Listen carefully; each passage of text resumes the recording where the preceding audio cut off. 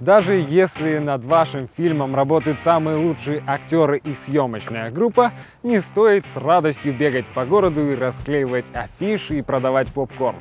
Вас ждет еще самый длительный из всех процессов кинопроизводства, а именно постпродакшн. Все те мелочи, которые в совокупности составляют фильм и при этом незаметны невооруженному глазу, создаются именно на этапе постпродакшена или постпроизводства. Он включает в себя монтаж, компьютерную графику, запись саундтрека и дополнительного звукового сопровождения, дубляж, раскрашивание кадра и даже создание титров. Очень важную роль на этом этапе играет монтажер, который вместе с режиссером, а порой наедине со сценарием, отбирает лучшие кадры и задает стиль повествования всей истории. Мы снимаем в оперном театре. Нужно убедиться, что мы сняли все, что нужно, и нам не придется переснимать. Поэтому, как только кадры приходят с видеомониторов, я импортирую их сюда и начинаю монтировать сцену. Для того, чтобы постпродакшн не затянулся, все киноотделы включаются в процесс производства одновременно. Однако, если фильм преимущественно снят на зеленом фоне, то 3D-дизайнеры включаются в процесс еще на стадии препродакшена и создают так называемую превизуализацию. Если для актеров работа на фоне зеленых экранов по большей части игра с богатым воображением в пустой комнате, то для режиссеров это настоящее испытание, так как они не могут увидеть, как все будет выглядеть в итоге с графикой. Помощь им и создается черновая версия сцен на компьютере. Она-то и получила это необычное название превизуализация. Фильмы экшен во многом зависят от интеграции реальной съемки и компьютерной графики, поэтому все начинается еще до начала съемок на этапе превизуализации. Создается заготовка того, что хотят операторы и чего хотят режиссеры по спецэффектам. В сцене, где Том идет к кораблю, мы разработали сначала компьютерный шаблон, потом мы распланировали, как ее снять вживую. Для этого мы записали эту сцену под разными углами и перенесли Тома в компьютерное окружение, а затем создали цифрового двойника. В результате работы всех отделов у нас вот что вышло.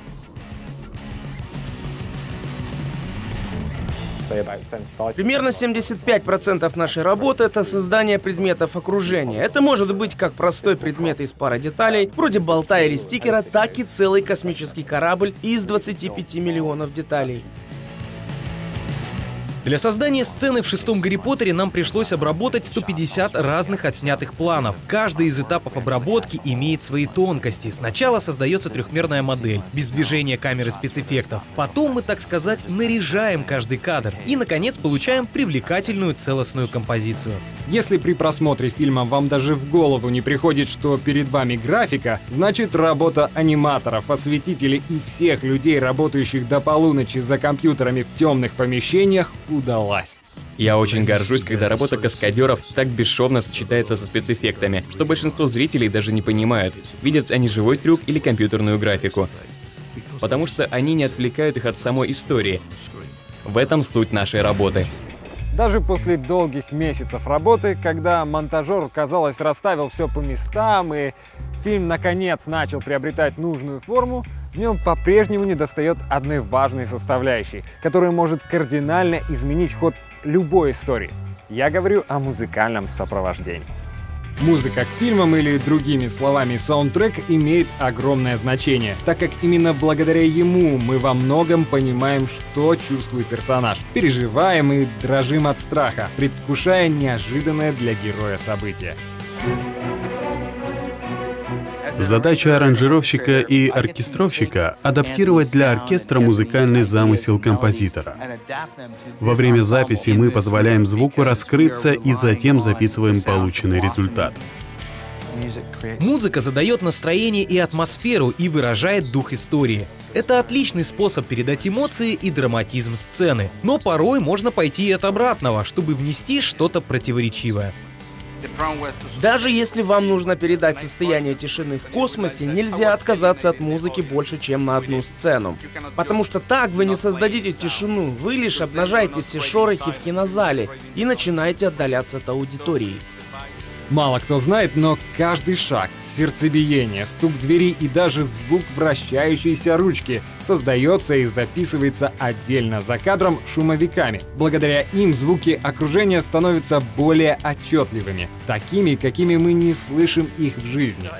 Для фильма «Гравитация» нам понадобилось прописать звук для каждого прибора и прикосновения. Мы записывали звуки больничных аппаратов и роботов на заводах при помощи различных микрофонов. Мы записывали звуки, которые издает одежда, дыхание актрисы и создали целую базу, благодаря которой смогли передать чувства персонажей зрителю.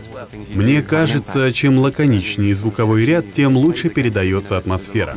В этом вся прелесть нашей работы.